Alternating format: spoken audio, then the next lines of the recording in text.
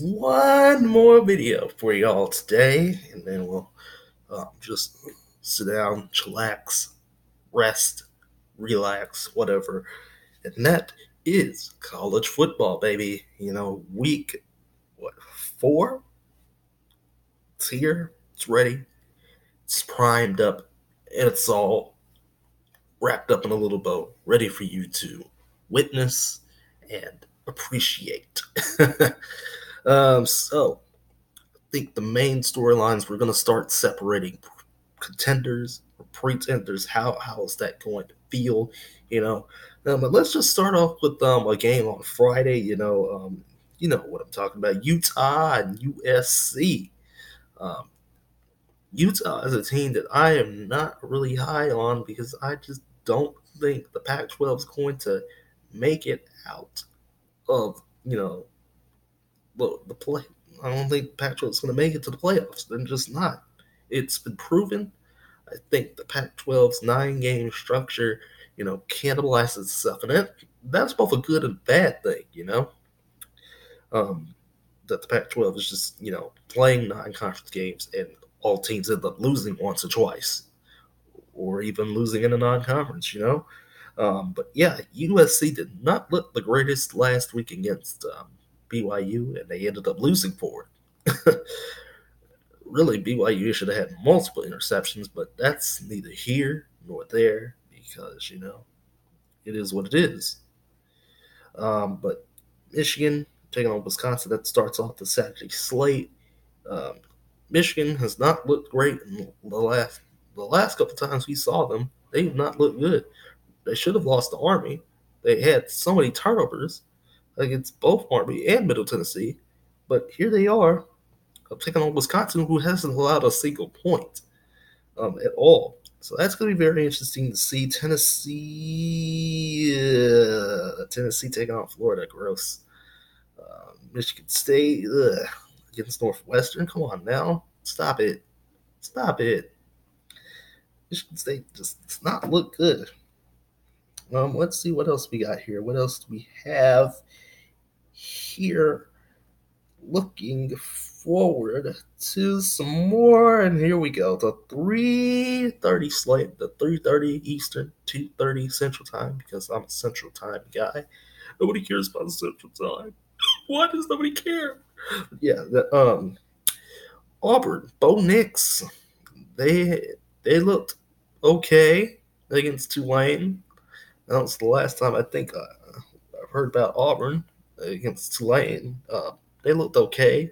They didn't look too well against Oregon until that very last drive. So I'm wondering now that SEC play begins, how does Auburn look?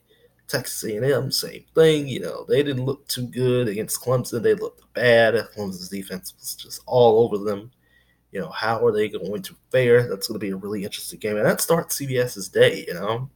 that's just the start of CBS's game slate today, uh, that day.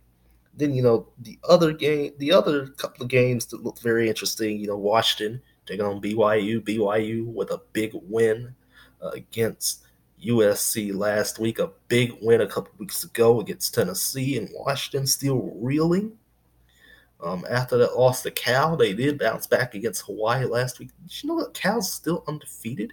I mean, I get it. They played against, you know, my other school, the school that I actually go to, UNT, and admittedly, they only won by six. That's not that's not the point.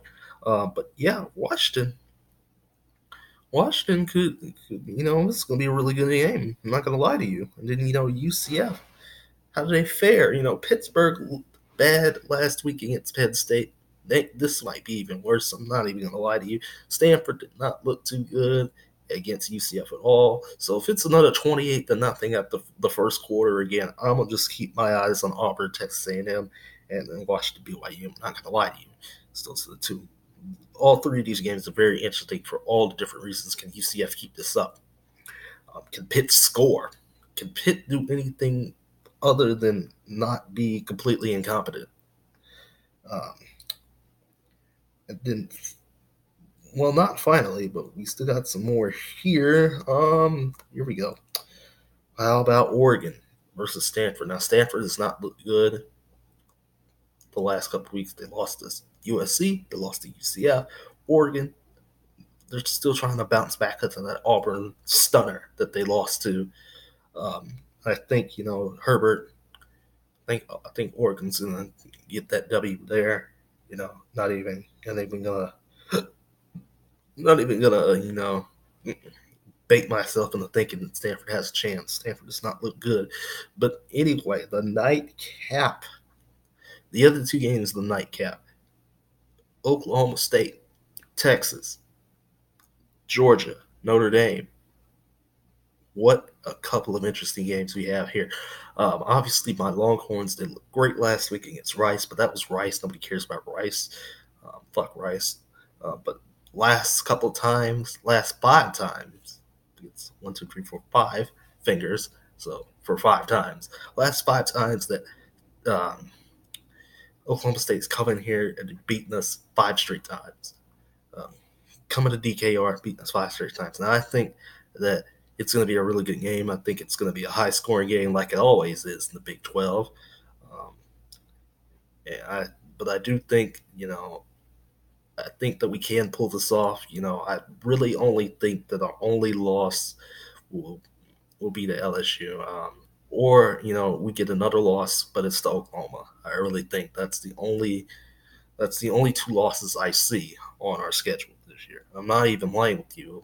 Yeah, uh, we we may have to split with Oklahoma. I'm not even gonna lie, and I'd rather get some revenge in the, in the Big 12 championship. I know that doesn't sound like a like a feasible option. But have you seen Oklahoma's offense? Have you seen the speed on Oklahoma's offense? I think we could split a game with. I think we could split two games with them because I don't think anybody else from the Big Twelve looks like a credible threat. You know, and Oklahoma State hasn't played anybody. Oregon State does not count. Oklahoma State fans does not count. You know, but anyway, Georgia, Notre Dame, Georgia has not been tested at all Notre Dame hasn't really been tested at all either, but Notre Dame has a bad rushing defense, and I have really just started to figure that out. Now, um, did not watch the Notre Dame game last week against New Mexico, but apparently Notre Dame did cough up another 200 plus yards on the ground, you know, against Northwestern, uh, not Northwestern, New Mexico's offense. Um, that's going to be a real problem with Georgia you know, Georgia's running the ball real well. Jake Fromm's playing real well. And I think, you know, it's going to be a barn burner. I'm gonna, I'm not even going to lie to you. It's going to be great to see Notre Dame back on CBS again. Um, even though it's a road game against an SEC team, I think they like that. I think CBS likes that money. It's going to be a really good game. Not even going to lie to you. Um, so I don't, I don't know who's going to win that game, to be completely honest with you. Georgia and Notre Dame, it's going to be a really, really tough game to figure out. So, um, all that, we go to the last couple of games of the nightcap, and it's Pac 12 after dark, baby. It's here, it's ready, and it's all primed up for you. Are you ready? Are you firm for Herm Edwards? Are you firm for him? Are you firm for the Sun Devils? Are you ready? See the Sun Devils. So that's on the Pac 12 network. Um, 10 o'clock Eastern, 9 o'clock Central, 7 o'clock, you know, out there in um, out there in the Pacific. Colorado was reeling after a loss last week to Air Force, you know. Arizona State, you know, they're coming off a pretty big win against Michigan State, You know they you know, Michigan State should have another chance, but we're not going to talk about that at all. And then UCLA, oh my God, who put UCLA in a Pac-12 at the dark situation? UCLA is looking like hot trash right now, and Washington State may just you know score as many points as Oklahoma did against UCLA. I just do not believe in UCLA right now. They they're looking pretty pretty bad, and they need to fix their offense quickly.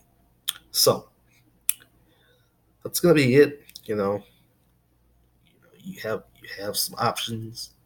We have we all have some options. It's gonna be some big games. I think there's gonna be some teams that are tested.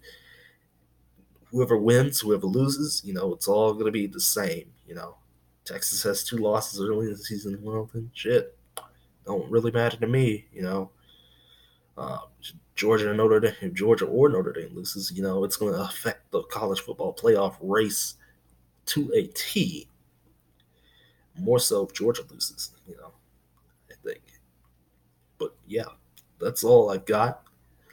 College football is gonna start back up Thursday. The Thursday night games are starting back up for college football, so that'll be Houston Tulane if it cares about Houston or Tulane. Because Houston, Houston's defense looks like boo boo.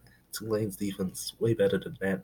They still lost Auburn, so that's not even, not even, not even relevant. But yeah, that's all I've got, guys. That's the last video of the day. You guys are the real MVPs for sticking around with me all day long.